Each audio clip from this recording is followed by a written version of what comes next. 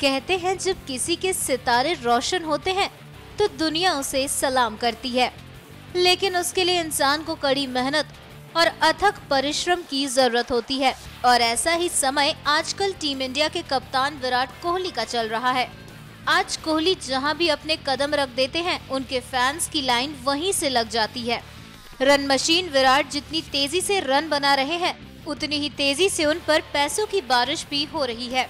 तीनों फॉर्मेट का कप्तान बनने के बाद विराट की ब्रांड वैल्यू इतनी तेज़ी से बढ़ गई कि वो अब इस मामले में सबसे तेज चल रहे बॉलीवुड स्टार शाहरुख खान के करीब आ गए हैं डफ एंड फिलिप्स की रिपोर्ट में सामने आया है कि इंडिया के कप्तान की ब्रांड वैल्यू इस समय बानवे मिलियन डॉलर मतलब 600 करोड़ से अधिक हो चुकी है और शाहरुख खान की ब्रांड वैल्यू 131 मिलियन डॉलर, यानी 878 करोड़ रुपए आकी गई।